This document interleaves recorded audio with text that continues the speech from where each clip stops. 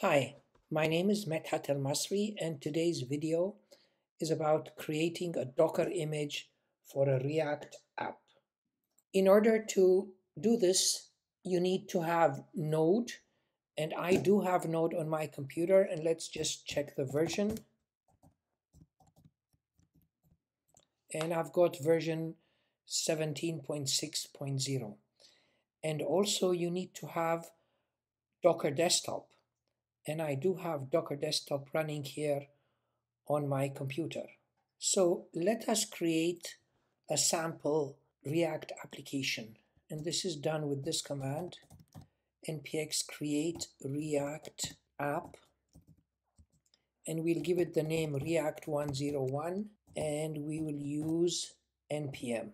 So this will create for us a React application. So when it's finished, you will get this displayed on your screen. And in order to run the application, you would go cd react 101 and npm start. This should open up for you the sample React app in your browser. And there it is. We don't need this, so we'll just close the browser and exit.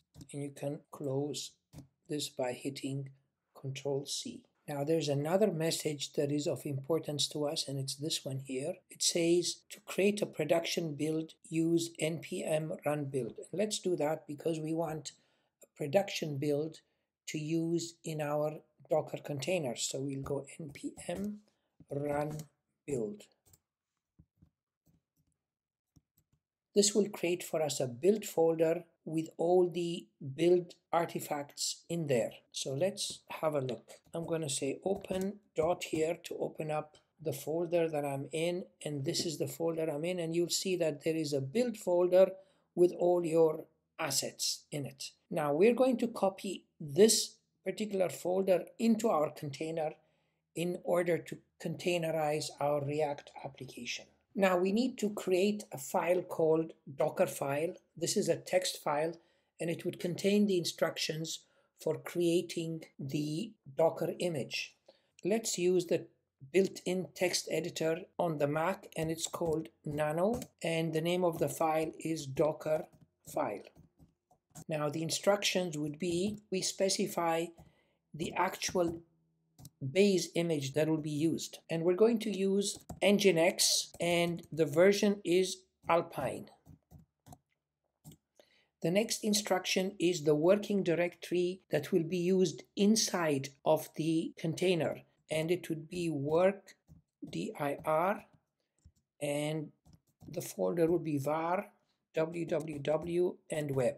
The next is what do we copy into the container? And we're going to copy the entire build folder into that working directory. And we want to copy a configuration file that we will be creating soon. And that configuration file is called nginx.conf.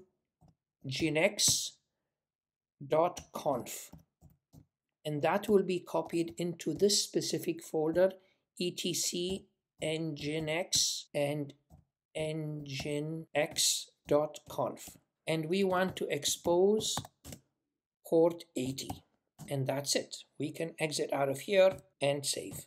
The next thing we need to do is to create that nginx conf configuration file. So we'll do a similar thing. We'll go nano nginx.conf and it'll open up this file. So i'm going to paste the contents of that file because it would take a lot of typing and I'll explain what it is. The important part is this here, this server section. The server is going to listen on port 80. This will be the welcome page index.html. The root of the web app is going to be var www web, which is the same address we specified when we created the Docker file. And this try files is basically an instruction that says if you don't find these files, then give a 404 error. So let's go Control X here and save that again. The next thing is simply to build our Docker image. So I'm going to type in Docker build and I'm going to give it a name and that is using the tag instruction. The name of that image, I will just simply call it React. The version will be 1.0.0. And then don't forget to put the dot here because the dot means build from the current folder. So if you hit enter here, it's going to read that Docker file and the instructions in the Docker file and create the image. If you want to determine whether or not the image was created, you can type in Docker images here and you should see the image that we created. Here it is. The final step is to prove to ourselves that the image actually works. So let us run that image. In order to run the image, you do docker run and it's going to run as a daemon and you're going to do some port mapping.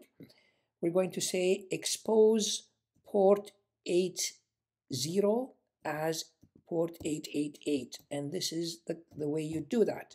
You're saying port 80 internally, expose it as 8888 externally. And then finally you give it the name of the image, which we said is React version 1.0.0. If you hit enter here, you will notice that this image is running. Just to make sure that it's running, you can go docker ps and that tells you that this image is running and it's been running for 9 seconds. The real test is to go into a browser and go localhost colon 8888 and see if it pulls up your React app and it seems to do that quite well. To clean up, you can do docker rm for remove and you can say minus f for force and give it the first three or four characters of this ID. In my case, I'm going to type in 4F2 and that kills the container. The next step is to delete the actual image. So if you want to do that, you go Docker images and we want to get rid of this image here. So we do something similar like we did before. You go Docker and then RMI for remove image. You can use the switch minus F to force and again you can give it the first three characters of this image ID. In my case I'm going to do 478 and it cleans up the image. Thanks for watching this video and if it was useful please give my video a thumbs up. We'll see you in the next video. Bye.